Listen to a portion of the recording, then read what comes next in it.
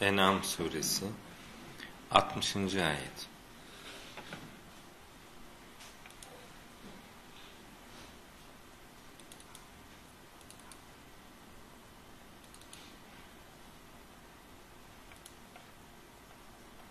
Belki bundan önce bu ayeti nice kere konu etmişizdir. Şimdi yerine geldik. Ama bayağı bir daha önceleri konumuz olmuştur bu ayet. İlginç bir ayettir çünkü.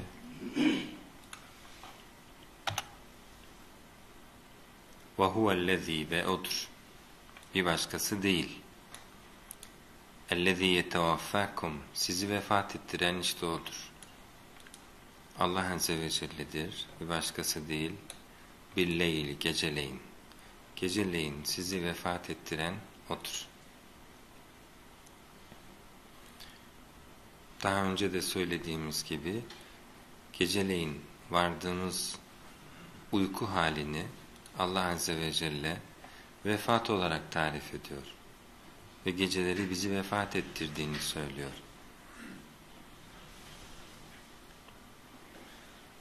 وَهُوَ الَّذ۪ي يَتَوَفَّاكُمْ بِاللَّيْلِ Sadece bu ifadesiyle böyle anlaşılmıyor. Devamında da şurada gelecek. Bununla gerçekten vefatı kastettiğini Cenab-ı Hak ifade edecek. وَهُوَ الَّذ۪ي يَتَوَفَّاكُمْ بِاللَّيْلِ Odur sizi geceleyin vefat ettiren muzari bir fiil dikkat ederseniz sürekliliğine işaret ediyor. Gün be gün bizi her gece vefat ettirdiği Allah Azze ve Celle'nin. Diyeceksiniz gündüzleyin de uyutmuyor mu? Uyumak istersek gündüzleyin de uyuyoruz. Ancak bu ifadeyle doğrudan geceye işaret edip uykuya işaret etmesi kafi.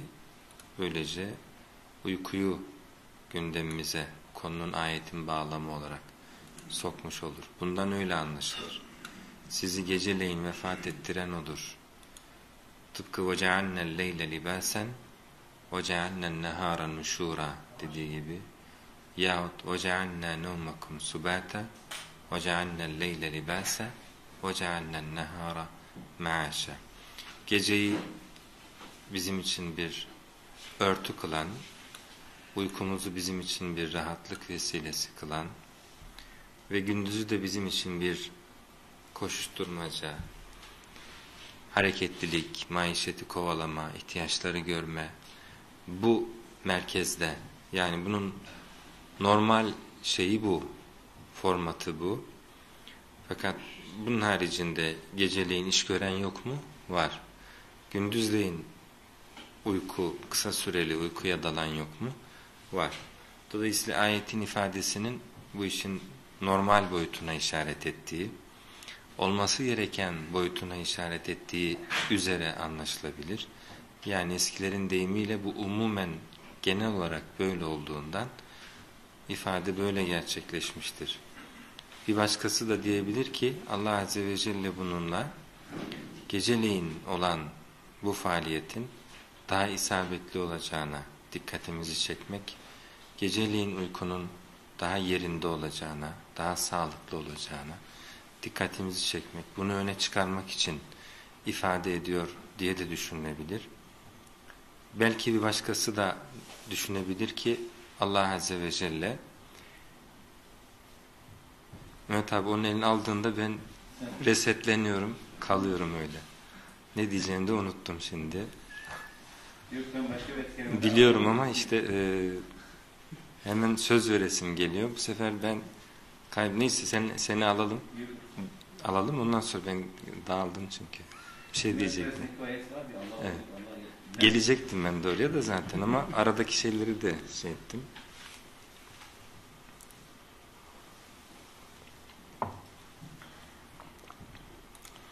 Evet. وَهُوَ الَّذِي يَتَوَفَّاكُمْ بِاللَّيْلِ Yani şu an e, demin açtığım fasılada şunu kurcalıyorduk. Tekrar oraya dönersek. Niye Cenab-ı Hak billeyl dedi? Ee, burada uykuyu işaret ettiğini anlıyoruz. Ayetin devamı da buna işaret ediyor. Başka ayetler de var. Ama burada niye geceleyin sizi vefat ettirir ifadesini kullandı. Kastettiği şey uyku olduğu halde, uyku gündüzleyin de olabildiği halde, bununla maksat e, şu olabilir, şu olabilir diyorduk. Birincisi tekrarlarsak, birincisi e, bunun geceleyin normal olarak, hani e, ne derler, default veya genel olarak olması gereken şekliyle gece olduğu için denilebilir. E, dolayısıyla da Allah Azze ve Celle genel bir ifadeyle bunu söylüyor olabilir. Yahut e, bir başkası da yorum yapabilir ki Cenab-ı Hak bunu geceleyin yapın, esas vakti gecedir diye bize salık veriyor. Ayetin içinde o saklı olabilir. Belki biraz aykırı bir yorum olarak denilebilir ki Allah Azze ve Celle sadece geceleyin olan uykuda kişiyi vefat ettiriyor. Gündüz olan uyku bunun dışındadır denilebilir. E, ama bu e, başka bir ayetle e, mutabık düşmez. Çünkü Allah Azze ve Celle orada Allahu yetevaffel enfuse hine mevtiha velleti lem temut fi menamiha. Allah Azze ve Celle kişileri, canları vefat ettirir. Ölümü esnasında velleti lem temut ölmemiş olanı da fi menamiha uykusu esnasında. Dolayısıyla menem orada açıkça uyku geçtiğine göre uyku hali vefata denk düşmektedir. Ucu ölüme açılmayan bir vefata denk düşmektedir. Burada ise geceleyin demesi bu menamın özellikle gece yapılması gerektiği veya çoğunlukla gece yapılması, gece, yap, gece yapıldığı gerçeği dolayısıyla onun olabilir. Burada açıkça Cenab-ı Hak billeyli demiş. Dolayısıyla menamın ve bu vefat halinin e, gece yaşanmasının bu işin normal boyutu, esas boyutu olduğunu düşündürüyor noktasındayım. وَهُوَ الَّذ۪ي يَتَوَفَّاكُمْ بِالْلَيْلِ Sizi geceleyin vefat ettiren O'dur. Bu bölümle alakalı bir şey söylemiyorsanız şu ikinci bölüme geçeyim. وَيَعْلَمُ Ve bilir Allah Azze ve Celle مَا جَرَحْتُمْ Geçen gün burada bir soru oldu müteşabihle ilgili. Mesela bu ayet o esnada aklıma gelmişti. Şu kısmı da mesela, devam eden kısmı da bizce yani tam kestiremediğimiz, oturtamadığımız konularla dolu. Çünkü biz de bir yandan yana bunu yaşıyoruz zaten ama yaşadığımız o hal değişiminin, uyku hali, uyanıklık hali ucuyla ne geç geçişlerde ne girişlerde ne çıkışlarda e, istemli bir boyutta yaşanmıyor ve kilitlerini de çözebilmiş değiliz. Yani isteyerek girme, isteyerek çıkma, giriş çıkışlardaki noktaları kontrol etme bunları bilmiyoruz. E bunlara dair ifadeler ve bir o kadar da yine gizemli. Vefattan bahsediyor ve ölüme benzettiği, benzetme kelimesi az kaldı. Ölümle aynı ifadeyi kullandığı yerdeyiz. Ölümü de daha yaşamadık. En azından bu dünyadaki ölümü yaşamadık öyle diyelim. Dolayısıyla da insanoğlu bu durumuna dair, geçirdiği bu hal değişikliklerine dair bir beşer olarak daha fazla bilgiler edinirse Cenab-ı Hakk'ın şu ayette bahsettiği hususları daha bir netleştirebilecektir. Benzeşen, sağa sola kaçan mana, müteşabih mana daha keskin bir noktaya doğru, daha net bir noktaya doğru varabilir. Şu an için öğrendiğimiz, bizler her gece vefat ediyoruz.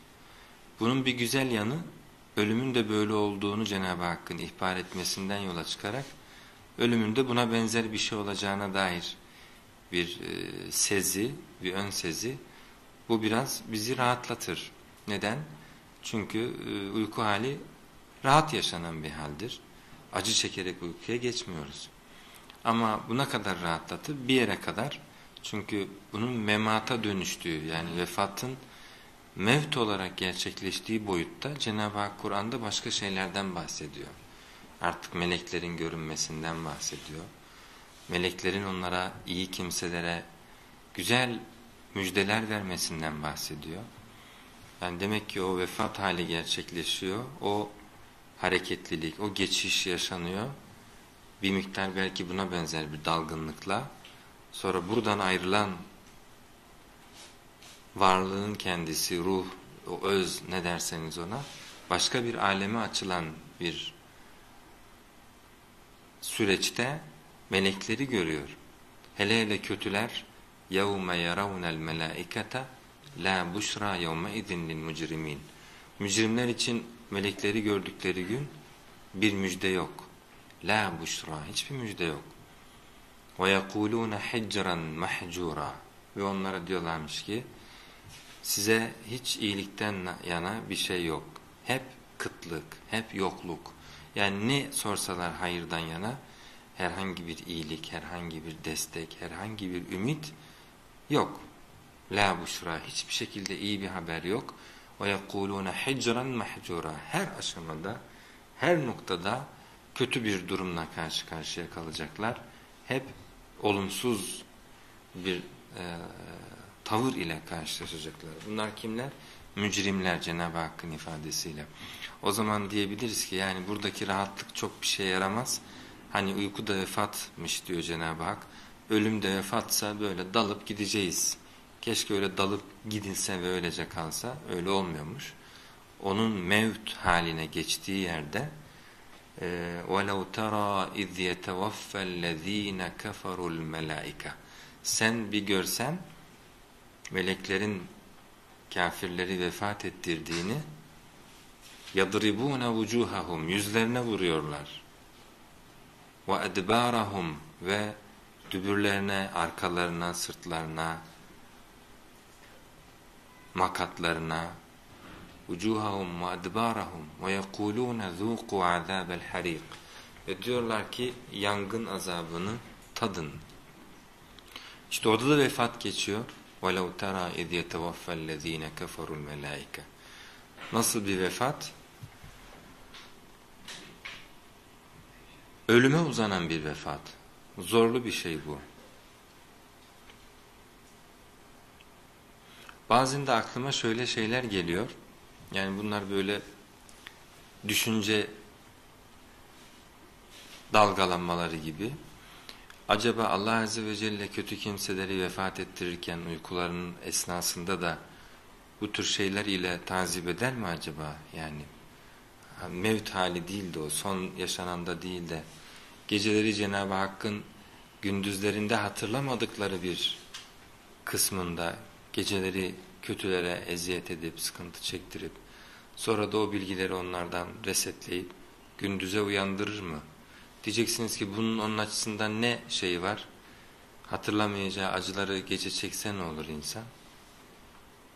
Çekse ne olur? Ne? Hatırlamasan ne olacak? O esnada çektin o acıları. Velev ki bir süre sonra şey yaptın, uyandın. Geçenlerde, şimdi böyle söyleyince geçenlerde bir rüya gördüm. Ee, şimdi hatırlıyorum rüyamı. Rüyamda ne oldu bilmiyorum. Ee, biriyle problemliyim veya birisi kötü veya ben bil, hiçbir şey bilmiyorum. Fakat bir, birisi var. Benim elimde de silah var. Ve ben öyle böyle derken e, adamın ensesinden o silahı sıktım. Şu anda öncesinde hatırlamıyorum yani ama kötü bir iş yaptım yani. Ve kendimi o esnada çok kötü hissettim. Hatta şöyle dediğimi hatırlıyorum kendi kendime e, hep haberlerde okurduk. İşte bir şekilde insanların başına geliyor, geliyor diye. Hiç bizim de benim de başıma geleceği aklıma gelmezdi. Bak işte öfkeme yenildim, böyle bir yanlış yaptım. Ve o esnada düşünmeye başladım. Hatta şu an gözümün önüne geliyor. Adam böyle kafası eğildi kaldı. Böyle aşağılarda yerde kan oldu falan. Ee, yüzüne de hiç bakasım yok. Hareketsiz zaten. İçimden diyorum ki acaba ne yapsam, bunu saklasam, şey yapsam. Diyorum ki bu tür şeyleri yapanlar hep aynı şeyleri düşünüyorlar demek ki. Bunu ortadan nasıl kaldırayım, nasıl gizleyeyim. Şuraya bak içine düştüğüm duruma inanamıyorum diyorum yani. Ben böyle bir şey nasıl yaptım? Adam öyle hareketsizken ben öyle ben de bir şey yapamıyorum. Henüz harekete geçemedim.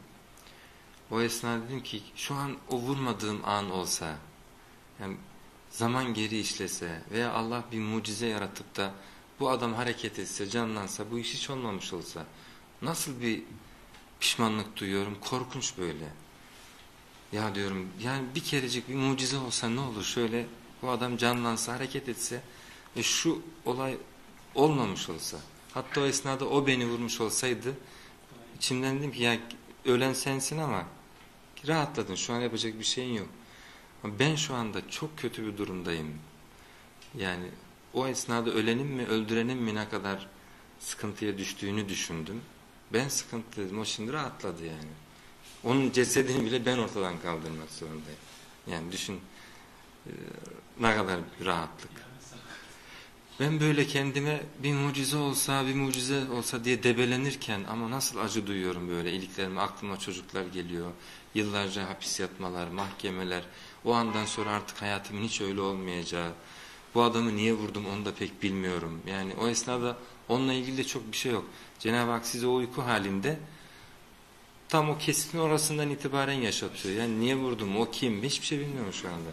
Ama ben vurdum ve o esnada o sıkıntımı yaşamak zorundayım yani.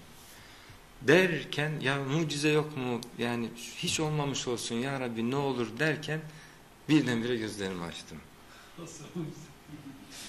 Açar açmaz dedim ki bak istediğin oldu. ben gözlerimi açtım rüya oldu.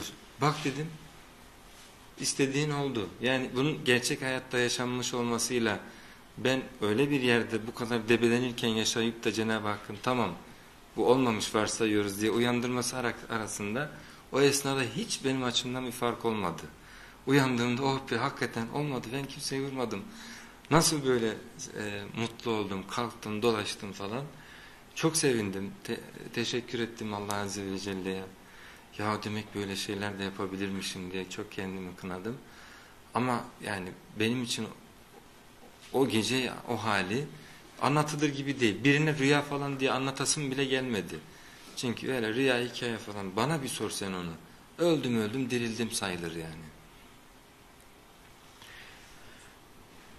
Ve Allah Azze ve Celle benim için işte bir tane şeyi geri aldı. Artık bana neyi öğretiyor? Bak öfkeni kontrol et, kendine dikkat et. Ondan sonra e, istikbar edip, büyüklenip yanlış adım atma. Burada geri aldık ama her zaman geri almayabiliriz. E, böyle bir şeyi bana yaşa, yaşa, benim geri alması bile, böyle bir şey bile ömür boyu şükrana değer bir şey yani. Benim o esnada şu anda geri çağırdığım duygularım beni titretiyor resmen. Böyle gizemli bir şey yani. O anda uyandık. Sekiz boyutlu bir sinema filminden uyanmış gibi. Sekiz boyut ne? Yani birebir aynı gerçeğiyle boyutlar. Onun ne olduğunu bile çözemiyoruz. Nasıl bir haldir o yaşadığımız? Oradan buraya nasıl geçiyoruz? Geçiş anımızı kim tayin ediyor? Ne oluyordu o esnada? Tamam denip denilip de uykudan bu tarafa geçiliyor. Bizim elimizde olan şey değil. O esnada bir düğmeyle falan da çıkıyor değiliz. Bunların hepsi bilmediğimiz ama her birimizin birebir yaşadığı şeyler. Allah Azze ve Celle bunu işte size yapan kim diye sorarsanız ayet öyle başlıyor. Vahuva ve odur bir başkası değil. اَلَّذ۪ي يَتَوَفَّاكُمْ بِالْلَيْلِ Geceleyin sizi vefat ettiren kesinlikle odur. وَيَعْلَمُ Ve bilir Geceleyin vefat ettirdiğine göre o vefat edişimizde oradaki bütün şeyleri o biliyor zaten. Yapan benim diyor. Dolayısıyla orayla ilgili orada ne olduğunu biliyorum demeyi zahit görmüş zaten. Sizi vefat ettiren o ondan sonrasının istem dışı kaldığını ve onun her şeyi bildiğini bizim götürüldüğümüz süreçte bir bakıma hayatın gölgesinin düştüğü yerde diyelim yine tercihlerimiz ufak tefek işliyor sanki veya Cenab-ı Hak bize ibretli bazı şeyleri böyle yaşatıp oradan mesaj aldırıyor bilemiyorum. Ama gündüze gelince gündüzde biliyor Allah Azze ve Celle neyi yapıyorsanız. مَا cerehtum bin nahar. Gece kısmında bitirine bindirip götürüyoruz gibi orada Cenab-ı Hak istediği şeyleri bize yaşatıyor gibi ama gündüz kısmında daha bir istemliyiz, iradeliyiz, uyanık, uyanık, ona uyanız. Allah Azze ve Celle uyanık olduğumuz tarafta da ne yapıyorsanız biliyorum diyor. وَيَعْلَمُ مَا جَرَحْتُمْ بِالنَّهَارِ